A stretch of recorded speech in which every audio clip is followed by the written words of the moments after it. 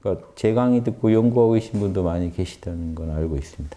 신부님들 중에도 좋아하시는 분들 많이 계시는 걸 아는데 그분들도 보면 그게 위험한 것 같아요. 제 얘기가. 그러니까 스님들도 제 얘기 몰래는 다 보시는데 대놓고 못 하시잖아요. 위험한 게 있어요. 제 얘기가 맞으면 절이나 교회 갈 필요도 없잖아요. 그러니까 그게 영업에 방해가 돼요. 제 얘기는. 그냥 양심적으로 살면 되는 거 아닙니까? 근데 그게 영업의 방해가 아니라 그럼 그 양심을 가르쳐 줘야죠, 누가. 그럼 절이나 교회에서 양심 가르쳐 주면 돼요. 이거 지금 그 이걸 가지고 충격 받으실 게 아니라 양심을 빨리 연구하셔서 본연의 임무로 돌아가시면 돼요. 안 그러면 절이나 교회가 앞으로 점점 더 의미가 없어질걸요. 지금 안 그래도 종교의 비리나 이런 게 다 그런 부분 아니에요. 비양심적인 종교 조직의 행태에 대해서 불만을 품는데 지금 비양심적인 어떤 행태를 보이실 일이 아니라 양심을 선도하셔야죠. 그러려면 필히 공부하셔야 돼요. 더 이상 그렇게 믿음의 힘만 가지고 그걸 종교 단체를 끌고, 끌고 나가시겠다. 이건 구시대적 발상입니다. 그게 안 되니까 지금 종교에 대해서 자성의 소리 엄청 나옵니다. 이대로 가면 망한다. 제가 볼때그 대안이 대안이 뭔지 지금 대안은요 성인들의 원형으로 돌아가면 돼요. 대안을 밖에서 찾지 마시고 석가모니면 뭡니까 팔 정도죠. 쭈구나사나 팔 정도. 대승 우리나라는 대승불교면 육바람이에요. 팔 정도랑 육바람일 안에는 소승, 대승 가르침 다 들어와 있습니다. 늘 팔 정도 육바람일에서 타의 모범이 되게 성직자들이 살아가시면 돼요. 뭐 더 필요 없습니다. 기독교 같으면 예, 황금률 지키는 데 있어서 타의 모범이 되게 살아가시면 음, 배울, 배울 게 있으면 가는 거죠. 지금 이게 뭐가 문제냐면요. 종교건 교육이건 다 똑같아요. 불교도 종교인데 말이 종교지 그 원형은 교육이잖아요. 여기 어떤 인간의 도가 전수되는 곳이거든요. 인간이 어떻게 살아야 될지 그 길이 전수되는 건데. 길을 잘 살고 있는 사람이 전수해 줄 수 있죠. 그러니까 불교에서도 불, 도의 전수장에서 갖춰져야 될 건 불, 예, 법, 그이 도가 법이죠. 불교식으로는 승. 그러면 이게 승은 학생이죠. 불은 선생님. 선생님이 선생님 어떤 자격입니까? 법을 갖춘 사람이죠.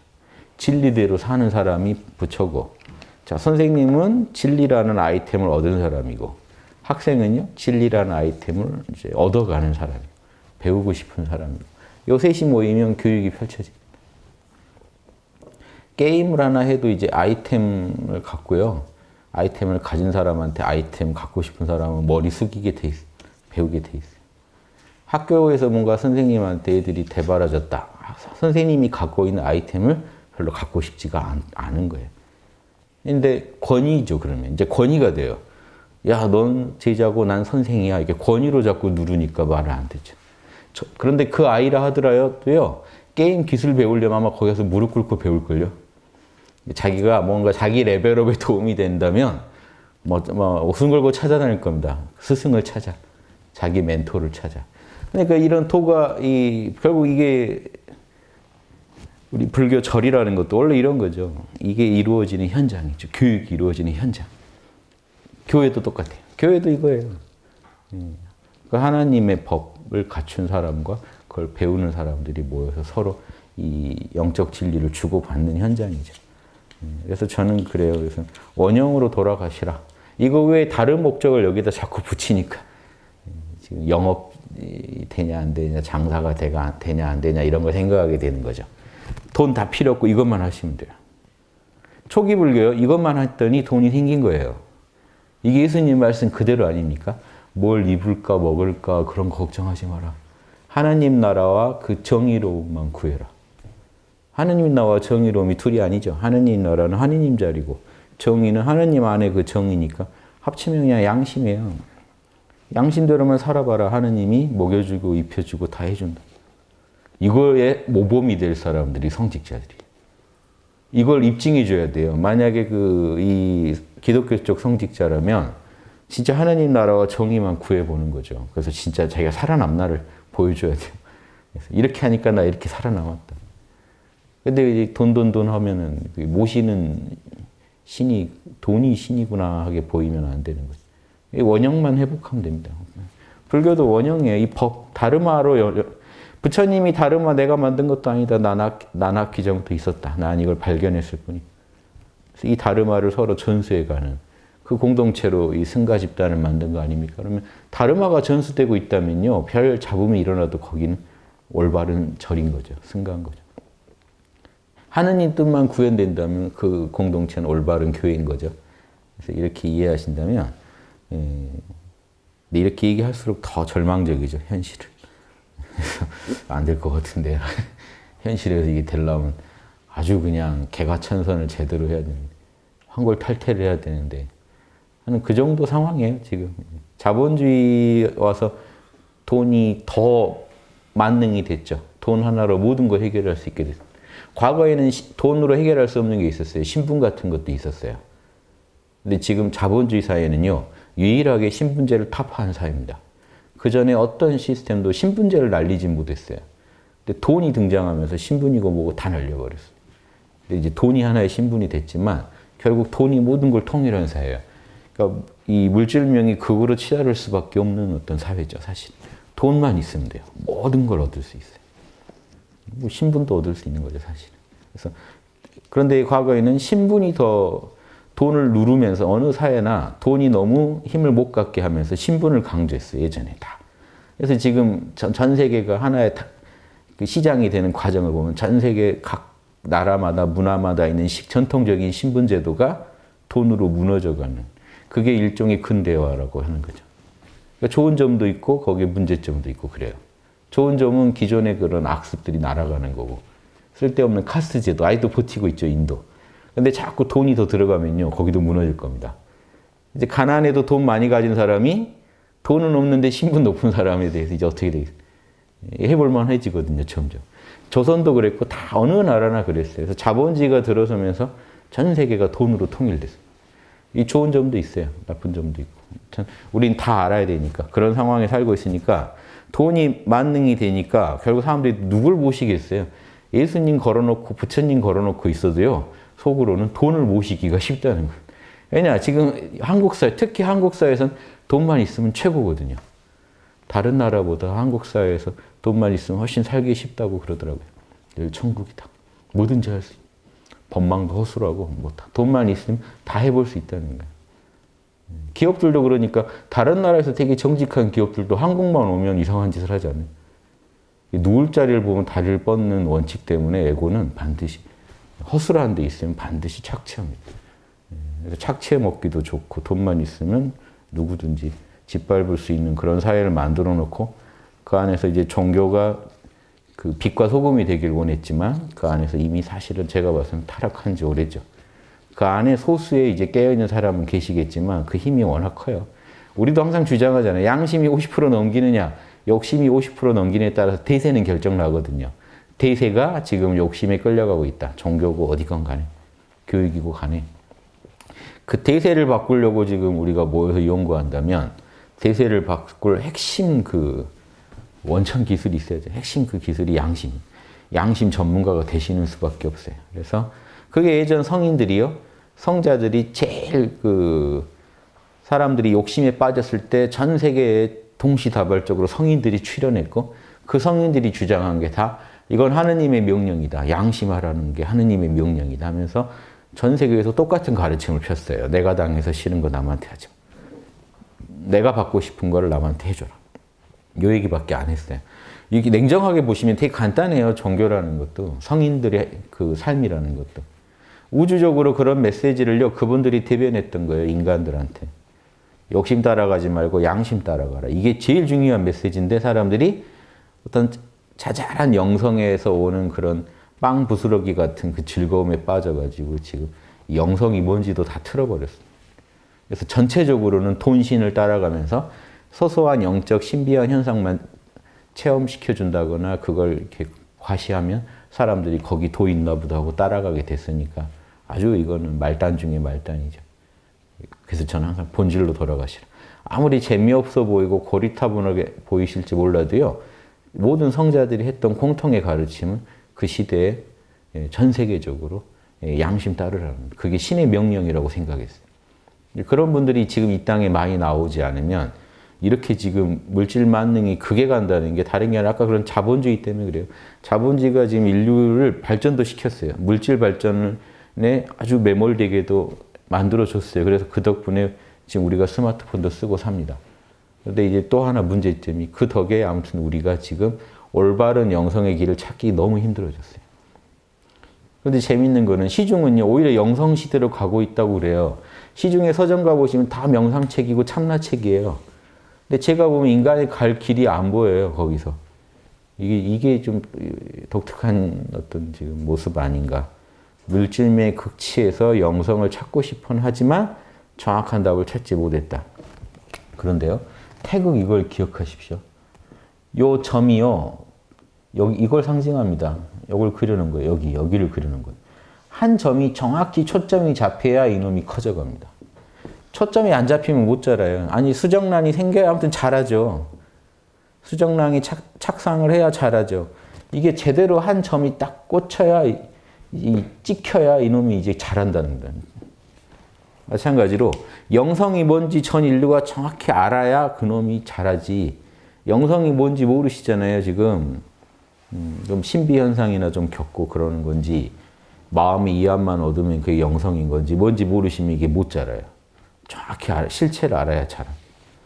욕심 운명은 우리가 정확히 금방 파악하는데 양심 운명은 정확하게 실체가 안 보여요. 그렇죠?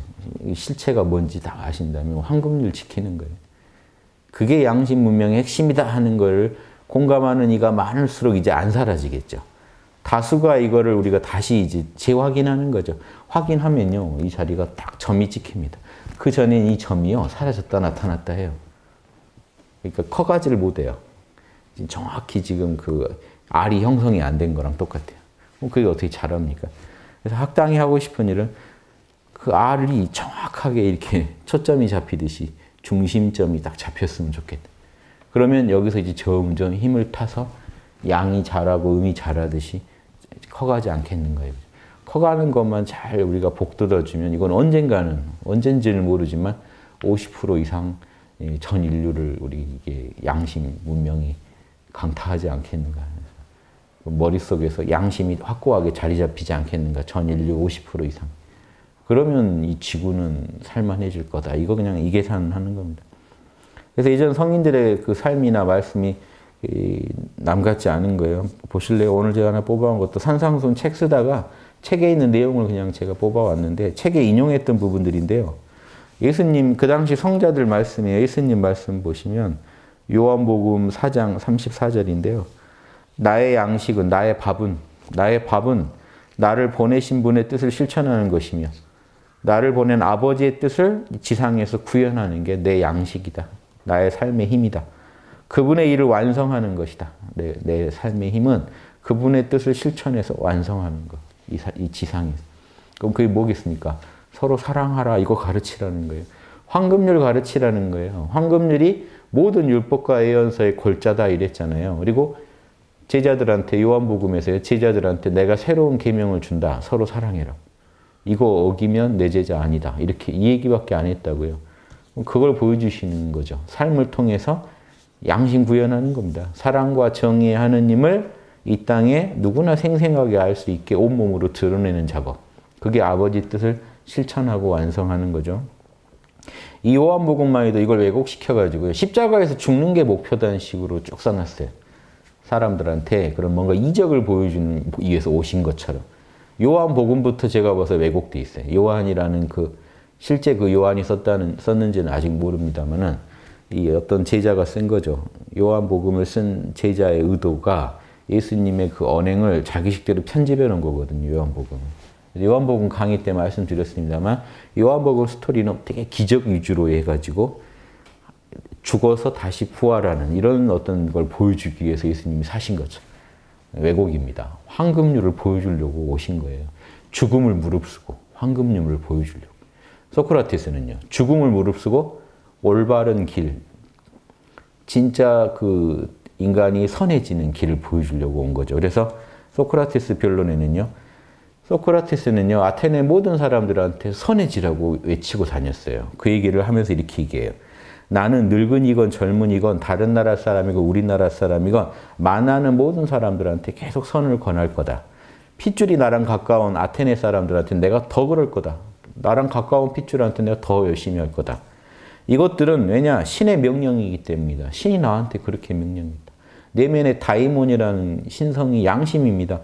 그래서 이렇게 얘기해요. 다이몬은 항상 나한테 뭘 하라고는 한 적은 없는데 내가 뭔가 하려고 하면 하지 말라는 신호는 꼭 보냈다. 하지 마. 하지 마. 우리식으로 말하면 찜찜, 찜찜, 찜찜 신호는 확실히. 그럼 찜찜 신호가 안 오면 자명인 거죠. 구체적으로 뭐 하라고 얘기해 준 적은 없어도 찜찜, 찜찜, 찜찜하지 않음. 그러면 그거 하라는 거야. 그냥 이렇게 사신 분이에요. 태어나서 계속. 그래서 나는 신의 명령만 따른다. 이 신에 대한 나의 이런 봉사보다 더 크고 선한 일이 이 나라에 아직 없었다고 난 본다. 내가 한 것보다 신에 대한 봉사가 이나 더 훌륭한 신에 대한 봉사는 없었다고 본다. 이 얘기는요. 수많은 정치인이나 무슨 수많은 철학자가 나왔겠지만 예, 신의 명령을 따라 내가 아테네 사람들한테 선해지, 선해지라고 무지에서 깨어나라고 외친 이거보다 더 위대한 그 신의 어떤 신의 명령의 실천은 이 땅에 아직 없었다고 본다. 광호하죠. 자부하고 있습니다. 양심의 명령에 자신이 충실하다는 그 확신에서 나오는 거예요. 유교는요, 중용이 이렇게 있습니다. 하나님께서 명령한 게 본성이고, 우리 인의의지의 본성이요. 양심의 본성입니다. 그 양심의 본성을 잘 따르는 것을 인간의 길이라고 한다. 인간의 길을 곱게 수리하는 것을 가르침이라고 한다. 이거밖에 없다. 우리가 할 일은. 하느님의 명령을 따라 살고 남들도 그렇게 살게 길을 뚫어주는 거. 이거밖에 없다. 쉽죠? 그 논어 한번 보실래요? 증자, 공자, 제자 중에 증자 얘기입니다. 유명한 구절이에요. 옛날 어른들이 좋아하던 구절인데 보세요. 뭐 이렇게 사, 뭐죠? 이렇게 하나의 수거처럼 임무는 중하고 길은 멀다. 여기 이제 증자의 말씀에서 나와요. 여러분 임무가 뭐죠? 여러분이 이제 왜 길이 뭘까요? 이런 의문을 가지고 한번 들어보세요. 증자가 말합니다. 선비는 불가이 불 어떻게 해야 되느냐? 반드시 그려야 된다. 홍. 예. 예. 예. 글자가 이게 굳셀 의자고요. 이게 클 넓고 클 홍자입니다. 선비의 마음은요 반드시 크고 엄청나게 커야 되고요. 굳세야 된다. 단단해야 된다. 넓디 넓어야 된다. 이건 작은 욕심에 빠지지 말란 얘기예요. 넓고 커야 된다. 선비의 마음. 동시에 단단해야 된다. 견고해야 된다. 왜 그러냐? 임무가 중하고 임무가 중하고 길이 멀기 갈 길이 멀기 때문이다. 이 앞으로 이게 군자도에서만 이런 게 아니고 보살도도 똑같으니까 이걸 아예 딱 여러분의 삶에 어떤 그런 가르침으로 삼으세요. 좌우명으로. 예, 임무는 중하다. 왜 그럴까요? 증자가 이렇게 얘기해 줍니다. 인. 인은 사랑이죠. 양, 유교에서 인은 양심의 대표입니다. 양심. 그래서 양심이에요. 인을 자신의 책임으로 삼고 있으니 얼마나 중한가. 양심의 구현이 내 책임이니 얼마나 중합니까? 선비는 마음이 항상 커야 된다. 왜냐? 작은 욕심에 빠지지 말고 분자는 대로행 이러듯이 큰 길로만 다녀야 된다. 큰 마음을 가지고 양심을 구현하는 걸 내 임무로 삼아야 된다. 내, 내 삶에 아까 같이 의식주의 해결을 내 책임으로 삼는 게 아니라 양심의 구현을 내 책임으로 삼아야 된다. 욕심의 충족이 아니라 양심의 충족을 내 임무로 삼아야 된다. 그래서 선비는 커야 된다, 마음이. 또 마음이 단단해야 된다. 왜냐? 갈 길이 뭐니? 왜 멀다고 했냐? 죽은 뒤에나 멈출 수 있으니 또한 멀지 아니한가. 죽는 그날까지 길이다. 그럼 이게 군자도가 좀 보이십니까? 그러면 매 순간 매 순간 양심의 구현에 최선을 다하는 삶인 거죠. 언제까지요? 죽는 날까지. 그러니까 책임이 막중하죠. 매 순간 양심을 구현해야 되니까. 내가 안 하면 우주에 누가 안 한다 하는 각오로 여러분이 책임지고 하셔야 돼요. 언제까지요? 죽는 날까지요. 그러니까 갈 길은 멀고 짐은 무겁고 갈 길은 먼 상황이죠. 이 군자가 늘 스스로 자각하던 자신의 어떤 책임입니다. 갈 길은 멀고. 성현들이 다 그랬어요. 소크라테스도 내 갈 길은 갈 길은 멀고 죽는 날까지 난 이걸 해야 되고 책임은 막중하다. 아테네 사람들을 깨우는 등해가 돼야 되니까. 예수님은요. 죽을 때까지. 또 보니까 아버지의 뜻을 구현하는 이게 책임이에요. 막중한 책임. 왜 길이 멀다고 합니까? 이 일반적인 짐은 좀 가서 어느 길에 가서 이제 떨궈 놓으면 되는데 이걸 죽는 날까지 지고 다녀야 되니까 갈 길이 멀다는 거예요. 죽는 그 순간까지 우리는 항상 양심을 어기면 안 된다. 이 중용도 아버지의 뜻을 따르는 게 우리가 가야 할 길이니까 양심의 길을 가는 사람은 늘 하나님의 뜻을 이 땅에 구현하는 게 되는 거죠. 그리고 다음 사람들이 그 길을 걸어올 수 있게 길을 수리해 놓는 것. 이게 이제 자기 길만 따지는 게 아니에요. 다음 사람의 길까지 다 예비해 놓고 가는 게 이게 보살도 아니냐. 상구보리 내가 내 길 가고 하와 중생 다른 중생들 오기 쉽게 길을 열어주고 자기 길을 가는 거 생각해보세요. 군자는 이 막중한 책임을 지고 길을 갑니다. 누가 길이 안 보여요. 처음에 황폐화돼서 사람들이 안 다니니까 길을 낫으로 이렇게 베면서 가고 있다고 생각해 보세요. 그래서 이게 곱게 해놔야 다음 사람들이 쉽게 올 거 아닙니까? 하와 중생은 다른 게 아니라 다른 사람들 쉽게 오게 해주는 거예요. 내가 그 길을 걸으면서 걸음으로 인해서 다른 사람들이 쉽게 그 길을 오게 하겠다. 이게 둘이 아니에요. 내가 내 길을 뚫고 가는 게 그대로 또 뒷사람들한테는 그 길이 이제 길처럼 보이게 되는 거거든요. 저 사람 가는 모습을 보면서. 그러니까 책임이 막중하고 갈 길이 멀다. 죽는 날까지 멈추면. 이, 갈, 이 짐을 내려놔 버린 분들이 있어요. 가다가 젊어서 되게 열심히 도 닦다가 말년에 이제 실절하는 분들 있죠. 그럼 가다 짐 던져버린 격이지 힘들어서. 그래서 인간적으로는 이해가 되지만 차라리 젊어서 놀다가 막판에 길을 가는 게 더 나은데 사람들한테는 희망적인데 길을 가다가 자빠져 버리면 뒷사람들이 어유 저 길로 저길 못 가겠다 싶어 버린단 말이에요. 근데 젊어서 사실 신나게 놀다가 좀 각심하고 길을 가면 모습이 참 아름답게 끝나는데 그런 분들도 많아요. 말을 안 해서 그렇지. 뒷사람들이 그냥 미화시키고 그냥 넘어가는 경우가 많습니다. 젊어서 이제 사리 판단이 흐려지고 이러면서 실절한 분들. 그러니까 우리가 죽는 날까지, 그러니까 증자 입장에서는 죽는 날까지 방심하면 안 되니까 갈 길이 먼 거죠. 이 짐으로 내려놓을 수가 없다는 거예요. 살아서는 지고 다녀야 된다는 수명이 길건 짧건 이런 각오라는 거예요. 나는 살아서는 이 짐을 못 내려놓는다. 이 각오로 가시라. 이해되시죠? 이게 노노 태백에 나온 증자 말씀입니다. 노노에는 별 얘기들 다 있죠. 이게요, 그냥 이렇게 읽으시면 아무 내용도 아니에요. 그런데 내가 그 길을 건단 입장에서 보면 아주 리얼한 얘기입니다. 이 선배님들의 말씀이죠. 강 건너 불구경 하듯이 구경하면 뭐 그렇게 힘들게 살았을까? 뭐 이렇게 재미지게 좀 살지. 이럴 내용이고 그 길을 걷는 입장에서 보면 야, 갈 길이 끝이 없구나 한 이럴 얘기. 예.